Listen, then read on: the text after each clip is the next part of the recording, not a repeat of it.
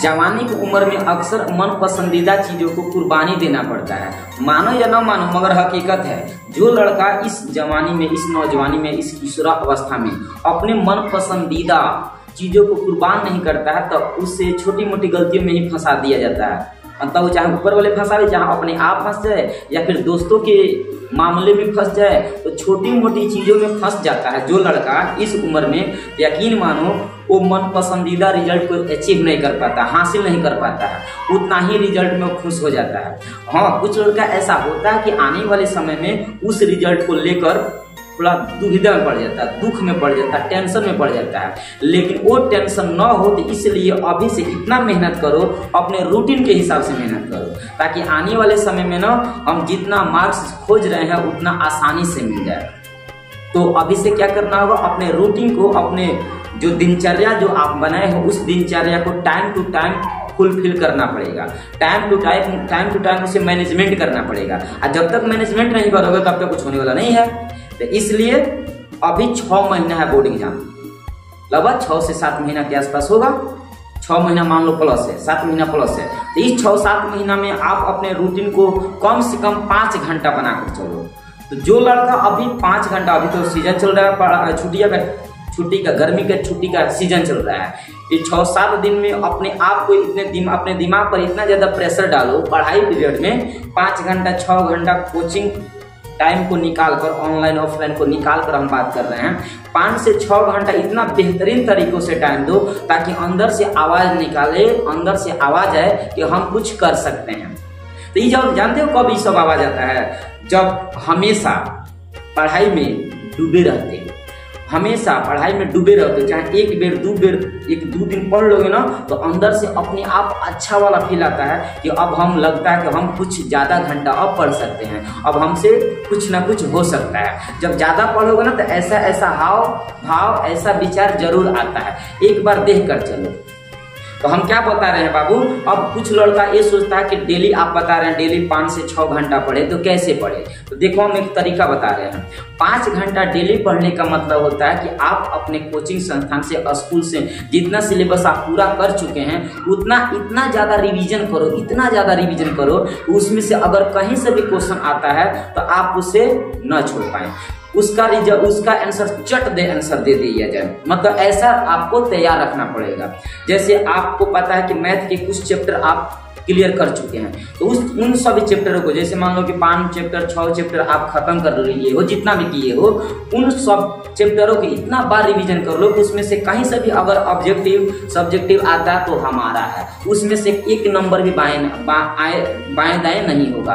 दूसरा बात कि यदि आप जितना साइंस पढ़ चुके हो, उतना रिविजन कर डालो। जितना हिंदी पढ़ डाले हो, उतना रिविजन कर डालो। मतलब हम कहना, हमारे कहने का मतलब ये है कि जितना आप पढ़ चुके हैं, उतना में इतना ज़्यादा रिवीजन कीजिए, इतना ज़्यादा उसे रिहर्सल कीजिए रिवाइज मारिए, उसमें से यदि कहीं से भी क्वेश्चन आ जाए तो आपसे छूटनी नहीं चाहिए। इस लेवल का तैयारी होनी चाहिए। और ये लेवल कैसे तैयारी हो सकता है?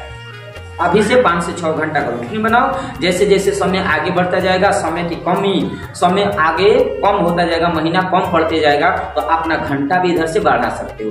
पाँच घंटा से छः घंटा, सात घंटा। परीक्षा जब आएगा ना तो उस समय बारह घंटा, चौदह घंटा कब हो जाएगा, पते नहीं चलेगा।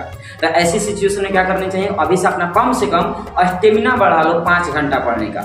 अगर पाँच से छः घंटा अच्छा से पढ़ लेते हो, यकीन मानो, आने वाले समय में जो भी पेपर दोगे, उसमें अच्छा परफॉर्म कर पाओगे। और जो लड़का अभी से घूम रहा है ऐस कर रहा है ऐस कर रहा है तो उसके लिए कोई अच्छा रिज़ल्ट नहीं आने वाला है। क्योंकि उस समय भी वो मायूस चेहरा लेकर बैठेगा, जो अभी लेकर बैठ रहा है। अभी तो हालाँकि हंसता खेलता रह रहा है। जो अभी हंसता खेलता रहेगा, वो आगे चलकर दुखी में पड़ेगा।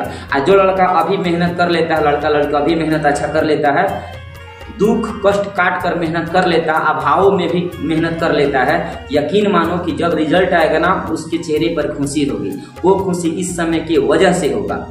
तो ऐसा मत करो, अभी खुशियाँ मनाने की ज़रूरत नहीं है। अच्छा काम करो अच्छा रिज़ल्ट लाओ और अपना कर्म करते रहो।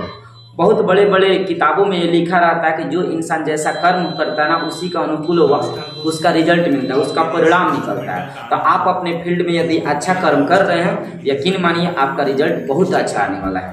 तो आप यदि पाँच से छः घंटा डेली पढ़ रहे हैं तो ऊपर वाला देखता है कि आपका कितना नंबर आ रहा है। अगर आप ईमानदारी से सच में पढ़ रहे हैं ना, यकीन मानो अगर ऑब्जेक्टिव क्वेश्चन अब ऑब्जेक्टिव क्वेश्चन दो चार को नहीं आ रहा है, अंदाजे लगा दिया है, अंदाजे लगा लिया है कि पांचवा का बी होगा तो ऊपर वाले कॉपी कर अंदाजे सही करवा देते हैं। मतलब ऐसे जगह मुजबानी पे ना रखता कोई मुजबानी रखता है, उसका सही हो जाता है तो ऐसा होता है। ऊपर वाले उसके साथ देते हैं।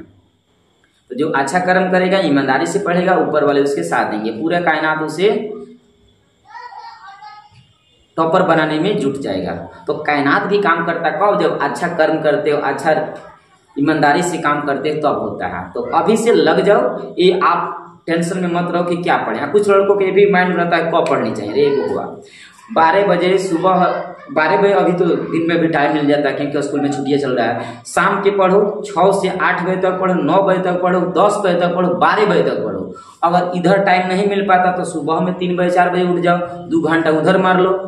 खाना खाने के बाद भी पढ़ सकते हो तो ऐसे ऐसे रोज रोज पढ़ोगे ना तो एगो आदत बन जाएगा। वही आदत आपको सफलता का ज़रिया होगा और वो सफलता आपकी कदम चुमा देगी। तो ऐसे करोगे तब, जब तक अपना माइंड सेट नहीं रखोगे ना, तब तक कुछ नहीं होने वाला। तो अपना माइंड सेट रोज डेली बाय डेली कम से कम पाँच से छः घंटा का रखो।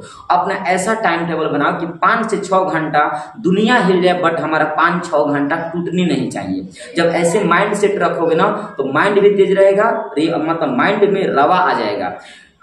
पढ़ने का तरीका बदल जाएगा एक्सपीरियंस हो जाएगा, हल करने का एकदम तजुर्बा हो जाएगा, बहुत तेज़ी से आगे मैथ क्वेश्चन सॉल्व करोगे। तो ऐसा होगा, जब माइंड सेट रखोगे तब। ऐसा हो सकता है, लेकिन डेली पढ़ना पड़ेगा। अपने आप से ऐसे प्रॉमिस करो, मैं कर सकता हूँ आई कैन डू इट जब ऐसे अपने आप से प्रॉमिस करते हो तो ऐसे ऑटोमेटिक हो जाता है। करके तो देखो लेकिन याद रखना माता पिता के आँखों का जो सपना लेकर बैठे हो ना, कि हमें इस काम करके दिखाना है तो वो आप कर सकते हो। तुम्हारे ऊपर माता पिता पूरे घर परिवार के आस है कि ये लड़का, ये लड़की कुछ कर सकता है। तो उस आस को तोड़ो मत, लग जाओ, पाँच से छः घंटा लगो, पढ़ो ओके